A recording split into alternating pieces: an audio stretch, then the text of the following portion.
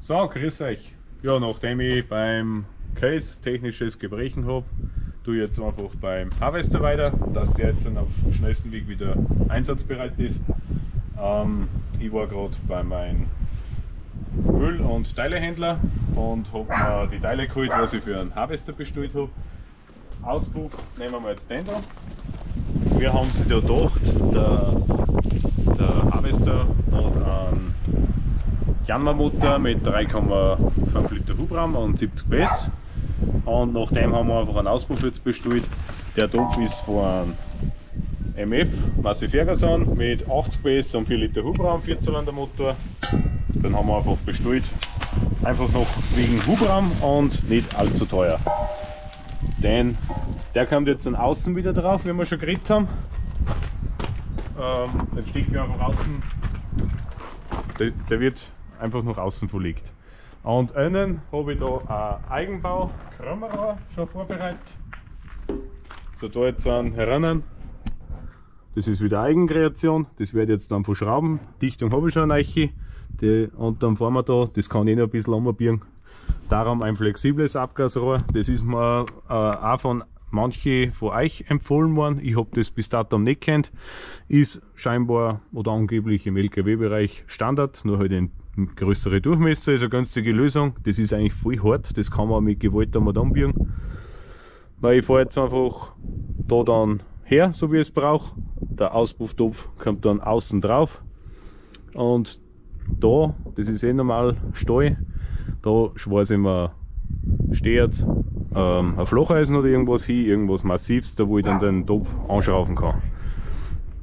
Der Vorteil ist dann, der Topf ist, steht massiv angeschraubt herum und drauf und die Vibrationen kann dann das Rohr ein bisschen anfedern, äh, weil es ja flexibel ist.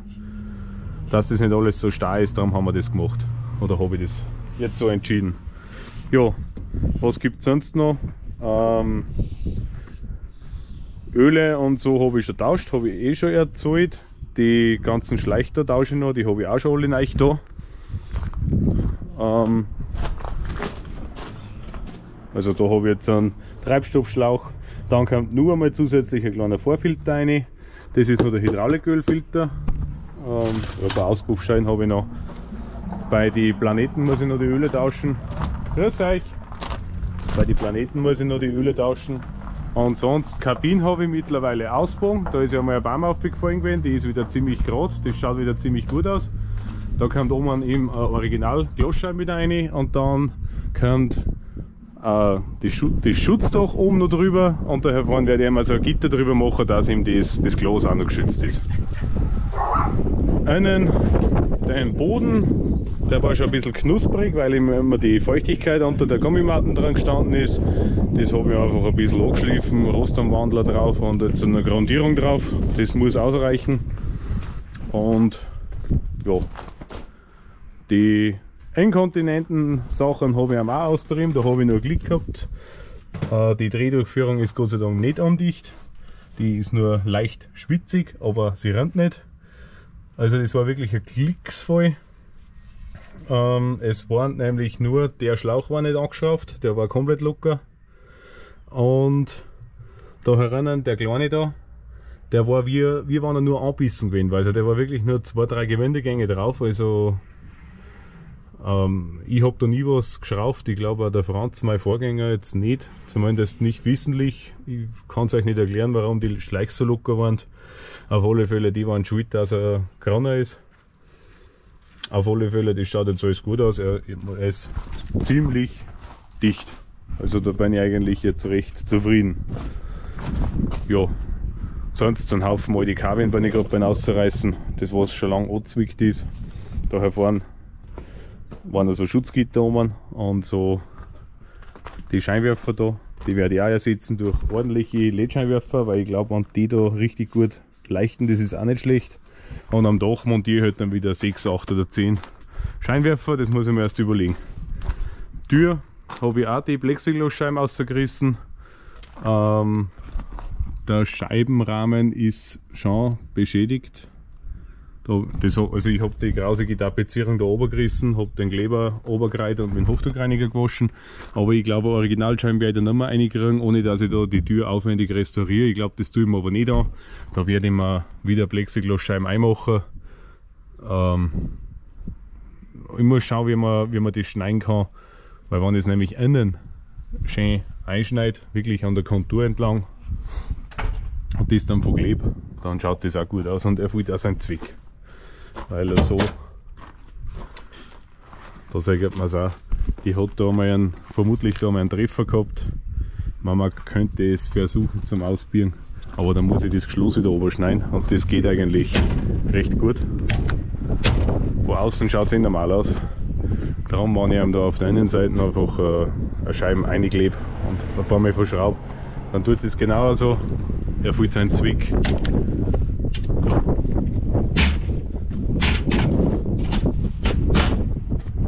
Ja, sonst Motorhaum haben wir auch glaube ich schon geredet, da bin ich schon beim Basteln, da haben wir schon einen Rahmen zusammengeschweißt, die ist jetzt gerade bei einem Ex-Kollegen von mir, der hat eine Schlosserei in der Nachbargemeinde, der der schneidet man noch mit Laser ein Blech aus, das was in den Rahmen, was ich zusammenbastelt habe, reinpasst. Da habe ich gleich die ganze Hammer aufgebracht. Da tut er sich leichter mit messen, bevor dass ich da wieder irgendeine Kartonschablone bastelt, wo dann noch in nichts passert wird. Ja. So, ich habe mir jetzt eine Stücke von den flexiblen Auspuffreal runtergeschnitten. Ich habe das jetzt auch schon mal ein bisschen Probe montiert. Schaut jetzt so aus. Also mein Eigenbau Flansch ist auf alle Fälle dicht, da werden euch die Dichtung unten rein da. Ähm, ja, das funktioniert auch ganz gut mit dem Rohr und das, das macht sie wirklich gut.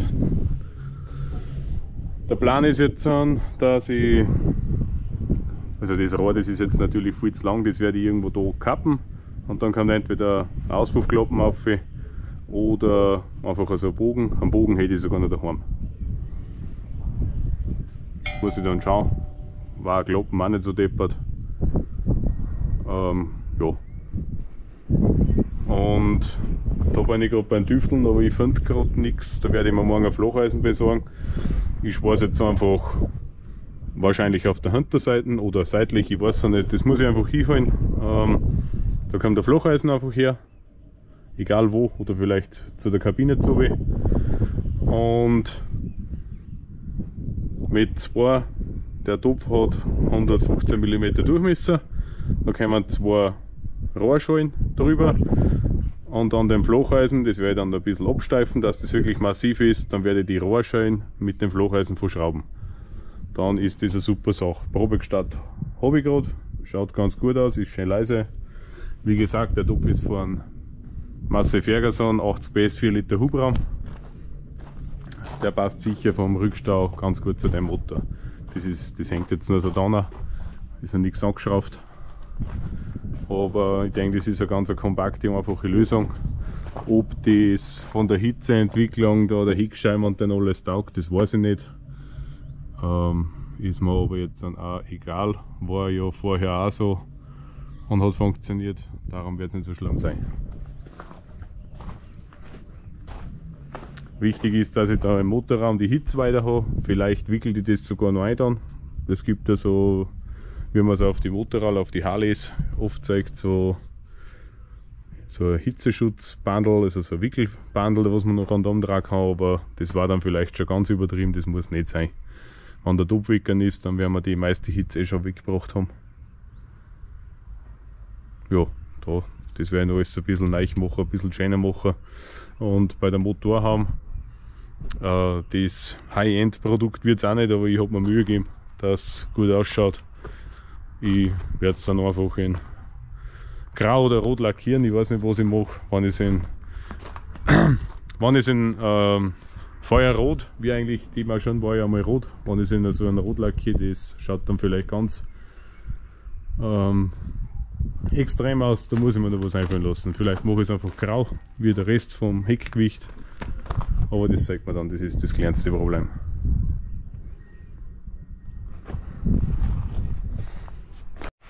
So, wieder nächster Tag. Gestern war noch ein, mein guter Freund da, der Elektriker. Da haben wir mal alles, haben wir mal alles durchgegangen an der Maschine am Kabel lang. Äh, Wetterbericht hat recht gehabt, schlechtes Wetter, aber darum, das passt jetzt eh gut, es ist nicht kalt, es ist Windstadt, da kann ich schön arbeiten. Also, wir haben das gestern, die ganzen nachträglich einbauten Kabeln haben wir gestern ausgerissen und angezwickt. Wir bauen, oder mein guter Freund, der Daniel, baut, die, baut das alles zurück auf Originalverkabelung, wie das damals war oder wie sie das damals ausgedacht hat. Da sind wir schon drauf gekommen, warum das die Dachscheinwerferkabeln und so, also das, das ist ja nicht mehr hergenommen worden. Das kommt von denen, weil der ganze Kabelstrang, der was da in die Armleine eingegangen ist, angerissen war. Ähm, da ziehen wir überall neue Kabel rein, weil da herinnen, das zeige ich euch auch noch, das da herinnen ist der Spannungswandler, der wandelt äh, von 12 auf 24 Volt. Das heißt, die Maschine, der Harvester selber, also der Bagger, das Grundmaschine ist 12 Volt, das Harvester-Zeug braucht 24 Volt. Und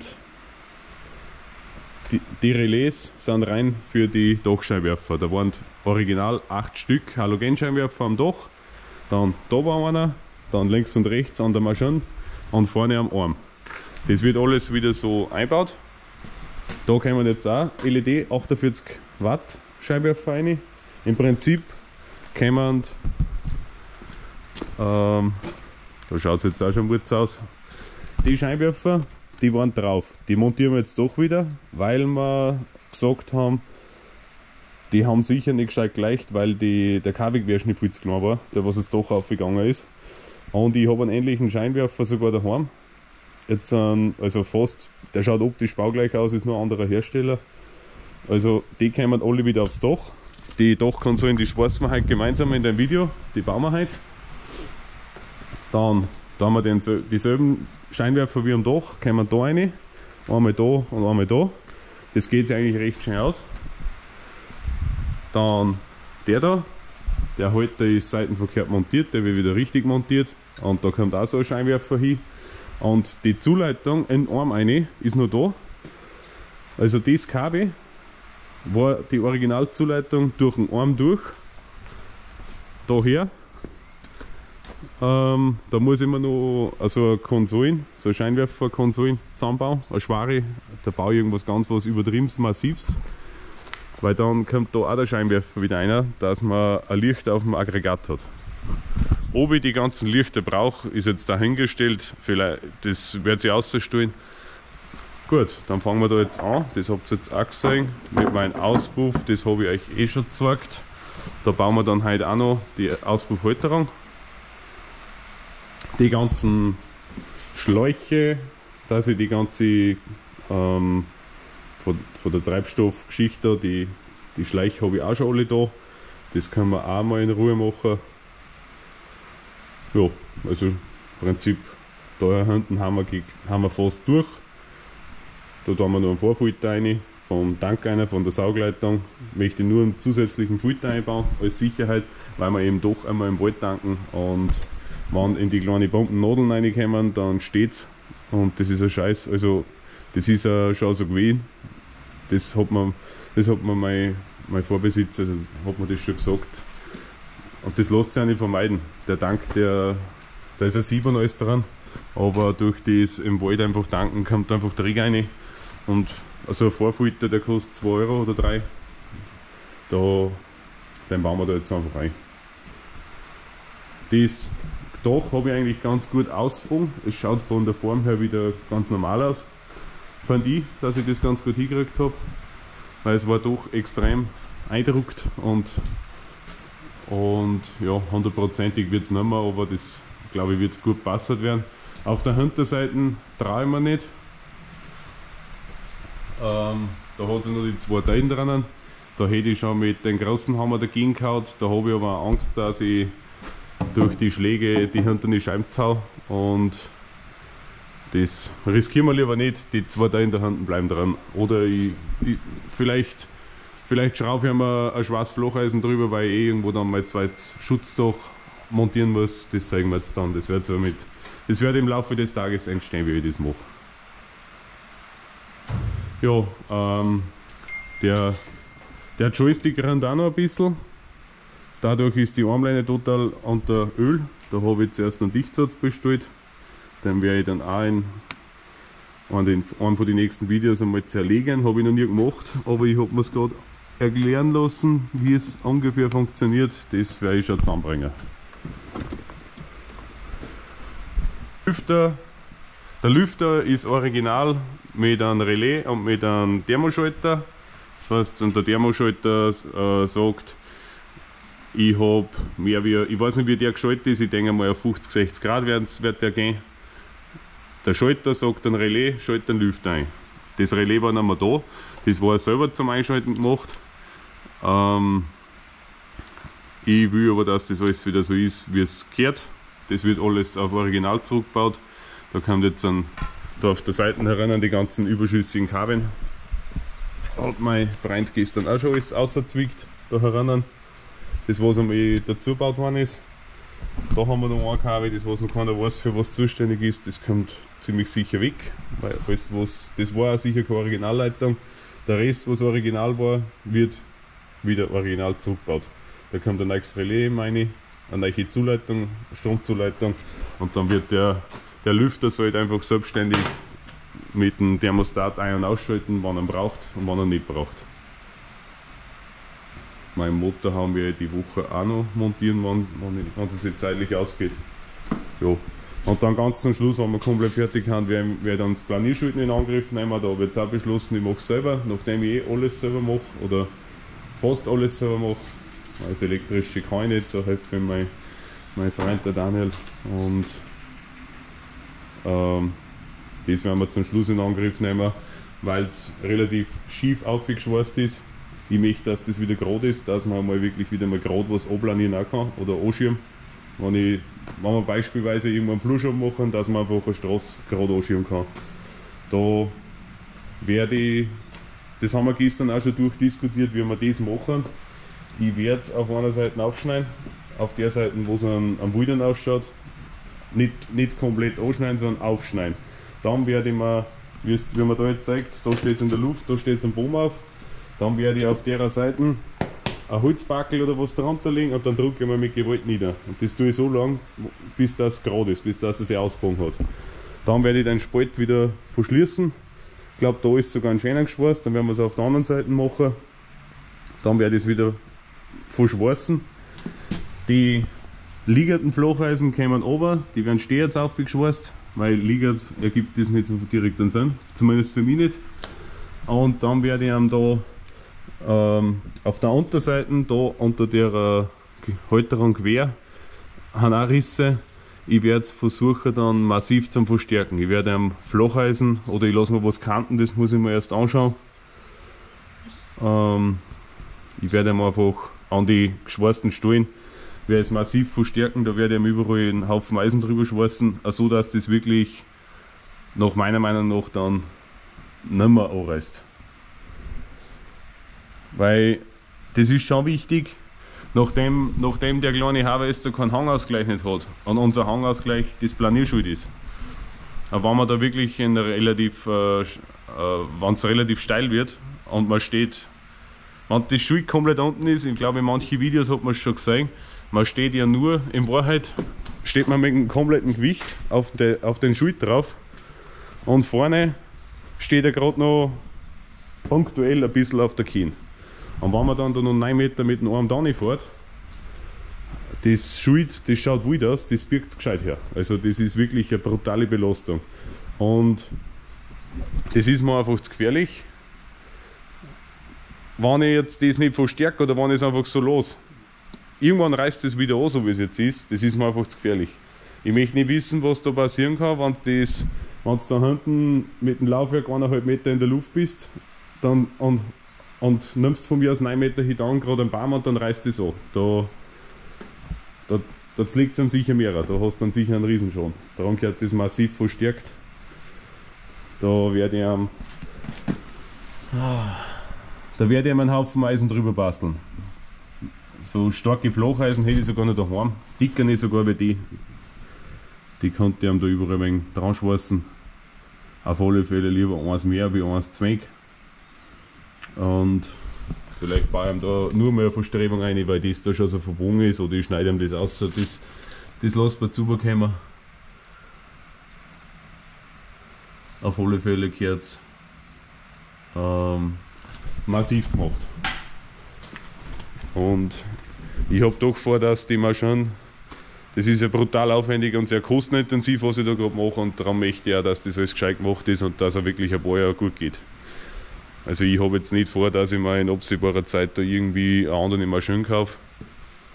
Ähm, habe ich auch noch nie gesagt, falls das schon wieder mal vermuten. Wann, wenn denn so sein soll, dann vielleicht einmal einen größeren dazu, aber den kleinen gab ich sowieso nicht her, weil das ist ein richtiger geschickter kleine Maschine. Und ich denke, wenn der jetzt ein wenig durchrepariert ist, dann habe ich, hab ich auch noch ein paar Jahre Freude damit. Und haben kann es einmal wieder, was ich mir gezeigt beim Traktor, der ist neu, hat, hat jetzt auch einen technischen Defekt. Darum, jedenfalls, ähm, wenn ich da jetzt dann durch bin, dann wird mich, wird mich wahrscheinlich ein Hydraulikschlauch nach den anderen verlassen, weil die einfach fertig haben. Ähm, und so Kleinigkeiten kann es aber wieder geben. Hydraulikschläuche bin ich gerade auf der Suche nach einer gebrauchten Hydraulikschlauchpresse. Ich habe mir jetzt schon oft öfters am machen lassen. Ähm, das interessiert mich überhaupt nicht. Da nachdem ich ein bisschen weiß, was, was Hydraulikschläuche im Meter kosten und was man dann oft zahlt. Ich habe es ich nicht einmal beim selben pressen lassen, ich fahre ein wenig am Damm. Das, da tue ich nicht mehr mit. Ich kaufe mal Schlauchpress und werde mir in Zukunft meine Schläuche selber herstellen, weil die, die Schlauchpressen kosten bei eBay Kleinanzeigen, die einfachen, die mobilen, die kosten irgendwo gebraucht 1500 Euro in etwa. Da hätte ich mir mittlerweile schon leicht eine kaufen können. Und wenn ich die Schleichter alle durchwechselt, die meisten sind wahrscheinlich nur original und die haben einfach alt und fertig. Allein beim Aggregatfahren dran, die schauen echt schlimm schon aus, wie es halt ist, wenn was alt wird. Und wenn ich die alle, alle machen lasse, da kann ich mir wahrscheinlich eine professionelle Schlauchpresse um das Geld kaufen. Aber ich möchte eine mobile, dass ich auch mal kurz im, im Wald draußen oder so äh, einen Schlauch richten kann. Und da werden wir mal schauen. eBay Kleinanzeigen ist immer wieder was dran. Ich brauche halt, halt gleich ein Set, da wo gleich Pressearmaturen und Schleich dabei haben. Da gibt es ein neue Set, aber da bin ich relativ unerfahren auf den. Das, das ist nicht mein Gebiet. Äh, da habe ich wiederum auch einen Freund, der kennt sich aus bei so einer Technik und der schaut mir da jetzt auch ein bisschen, ob er nicht eine, äh, wenn er eine gute gebrauchte Liste, wo er sagt, hey, die ist einfach, die ist gut, die kannst, mit der kannst du sicher leicht und schnell umgehen und die kannst du am Wald mitnehmen, dann werden wir es eh sagen.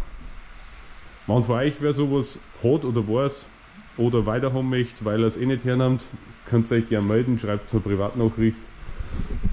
Ähm, ich glaube, da ging auch so eine ganz einfache Verpacker das ist ja ganz eine primitive mit der Handpumpen. Die haben, die habe ich mir sagen lassen, die wird ganz gern mitgenommen ähm, von, von so Montage, also von so Servicefirmen wird so eine mobile Verpacker ganz gern hergenommen. Das wollte ich damit sagen. Da kann man nämlich wirklich, die haben recht leicht und da kann man auch mal, meistens, meistens zerreißt es ja eh irgendwo nach der Verpressung. Und da kann man dann einfach auch mal einen Schlauch nicht ausbauen einfach direkt an der Maschine, Schlauch angeschnitten und direkt im montierten Zustand eigentlich. Also wenn der Schlauch auf der anderen Seite noch dran ist, kann man dann oft nachpressen. Da war eben die mobile Presse der Wahnsinn und darum wird es auch sowas werden. Ja, gut. Viertelstand wieder geredet, jetzt, jetzt greift man an, sonst rennt mir der Doktor vor.